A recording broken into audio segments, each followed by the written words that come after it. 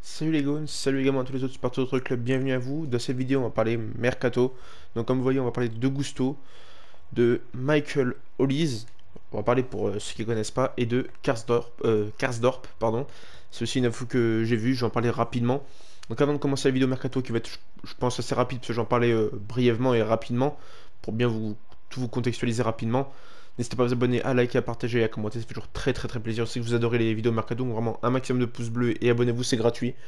C'est parti. Donc on va commencer au rayon des départs. Newcastle et beaucoup de gros clubs européens font le forcing pour euh, récupérer Malagusto rapidement, sauf que c'est une sorte de chouchou de Textor, donc il aimerait le garder. Le point un peu négatif, c'est que Lyon a mal fait son travail parce qu'il est en fin de contrat en 2024. Donc imaginons qu'on arrive à le garder. À mon avis, en mercato d'été, les offres vont fuser. Donc je pense que Lyon va essayer de le vendre au moins 30 millions. Ce qui est dommage, c'est qu'on n'a pas réussi à le prolonger. Donc est-ce qu'on va le prolonger? Ça, c'est aussi une autre question. Mais si on le vend, à mon avis, Lyon ne va pas s'en séparer en dessous de 30. Donc, à mon avis, il restera pas longtemps à Lyon. Il a un très très gros potentiel. Je pense que s'il va dans un top club européen, il va encore plus performer. Il sera peut-être dans un meilleur contexte parce que Lyon, là, en ce moment, c'est le, c'est le fin fond, euh, c'est les, les bas-fonds. Donc s'il va dans un club qui a un peu plus le moral, etc., c'est pas compliqué. Il peut vraiment encore plus progresser. Et la question que je pose, c'est... Il y a la rumeur Karsdorp, là je vais en parler rapidement ce que j'ai vu, mais pourquoi on ne foncerait pas sur Amari Traoré, qui a encore marqué euh, le but de la victoire contre euh, le PSG, et c'est un capitaine hors pair à Rennes, et il est en fin de contrat. Pourquoi on ne fonce pas dessus?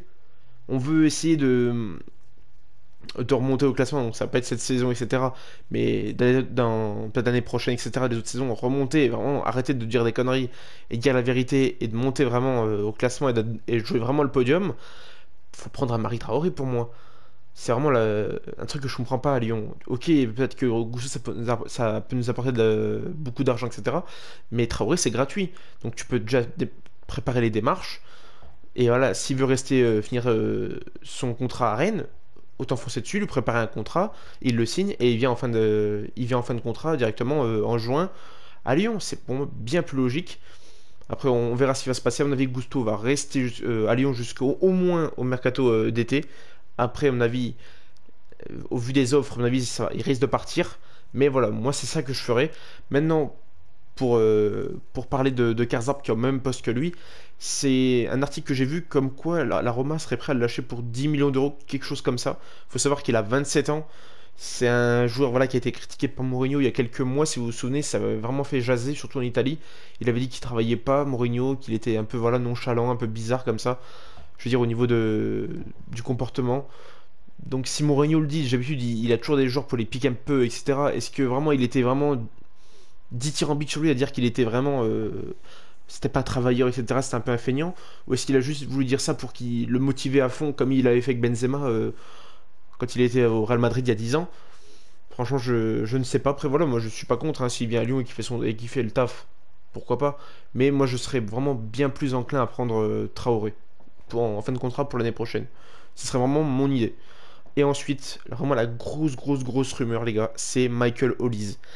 Textor a fait une annonce euh, avant-hier, je crois, comme quoi il avait dit que il, discutait qu'un jour pour le faire venir, etc.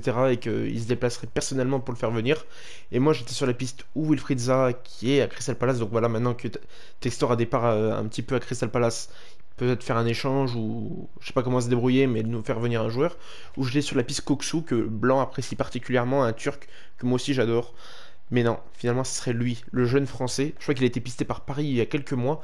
Et c'est Michael Hollis, voilà, il a, il a 21 ans. Voilà, oui, c'est ça, en décembre. Donc voilà, il a 21 ans. C'est un très très gros euh, joueur prometteur qui est du côté de Crystal Palace. Cette saison, c'est 17 matchs, 1 but, 4 passes décisives. Et je crois qu'il a pris que un carton jaune, donc ça va, c'est pas un lié qui fait beaucoup de fautes et qui est très très méchant. Et à ce qui paraît, il a vraiment des bonnes qualités de percussion, etc. Donc moi, je, demande à voir. Les matchs de Crystal Palace, j'en ai vu aucun de ma vie. Donc euh, je ne sais pas. Le seul truc que je sais, c'est que Paris était vraiment enclin à pas passer à l'action, mais vraiment était sur le dossier, en tout cas le surveiller de près. Donc voilà, euh, c'est pas, euh, comment dire, un truc comme quoi euh, c'est un excellent joueur à chaque fois si Paris se met sur un joueur, mais généralement Paris se met pas sur des mauvais joueurs. Donc je pense que s'ils le suivent, c'est qu'il a quelque chose en lui. Voilà, c'est qu'il a un gros gros talent. Maintenant, espérons que si on arrive à le faire venir, ou Textor par n'importe quel moyen arrive à le faire signer, et eh ben qu'il ne fasse pas une Romain Fèvre. c'est ça vraiment que j'espère, c'est qu'il fasse pas une Romain Fèvre, parce que là, à mon avis, si on se penche sur Olise, c'est que Fèvre va être prêté. Et après, voilà, il y aura le, duo, à mon avis, TT euh, peut-être titulaire et Olis qui va rentrer, ou Olis titulaire et TT qui va rentrer pour le remplacer, pour le remplacer si par exemple euh, euh vient en prêt ou signe, je sais pas. Parce qu'il faut aussi savoir qu'il a un contrat jusqu'en 2026 et il coûte dans les 20-22 millions. Donc je sais pas comment lui on pourrait sortir l'argent, parce qu'on a déjà peur de mettre 10 millions sur un joueur. Donc voilà, c'est un petit peu ce que je voulais vous, dire au niveau des pistes. Maintenant, hâte de voir ce qui va se passer dans les prochains jours parce que là, on se renseigne. Ok, c'est bien pour un ailier droit, mais j'aimerais bien aussi qu'on se renseigne sur un ailier gauche parce que Tokambi, euh, j'espère que son geste n'aura aura des conséquences et qu'il sera vite, vite euh, hors de ce club et qu'on achète un vrai ailier gauche. Voilà, c'est aussi vraiment le, pour moi, l'ailier gauche, voilà, si on se renseigne déjà sur un arrière droit, il faut aussi se renseigner sur un, sur ailier gauche pour moi. C'est vraiment une priorité aussi. Et aussi la phrase qu'avait dit Olas au tout début, oui, le mercato d'été euh, hivernal, il n'y aura pas beaucoup d'arrivées, etc. Au final, on voit que ça va être un gros mercato quand même du côté de Lyon, où on va essayer vraiment de beaucoup se renforcer. Donc ça veut dire que le mercato euh, d'été de, Bosch a été une catastrophe, à part pour quelques joueurs. Mais voilà, ça a été catastrophique parce qu'on a gardé Mendes, on a gardé Awar, on a gardé Toko.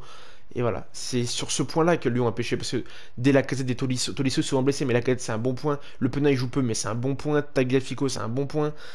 Il y a beaucoup de choses. Kumbedi aussi c'est un bon point. Voilà, mais après ce qui manque c'est du liant. On aurait eu Lovren peut-être plus tôt et plein de trucs comme ça. Ça aurait été mieux. Maintenant, hâte de voir. Et on se retrouve, pour le prochain épisode du Mercato. À mon avis, dans les jours à venir parce que ça risque encore de bouger. Est-ce que Ulysse c'est vraiment la priorité, etc. On va voir. En tout cas, a, je crois qu'il y a des discussions. Mais je vous tiens au courant euh, pour une prochaine vidéo de, de et d'autres rumeurs. N'hésitez pas à vous abonner, à liker, à partager et à commenter. On se retrouve pour une prochaine vidéo. Ciao les gars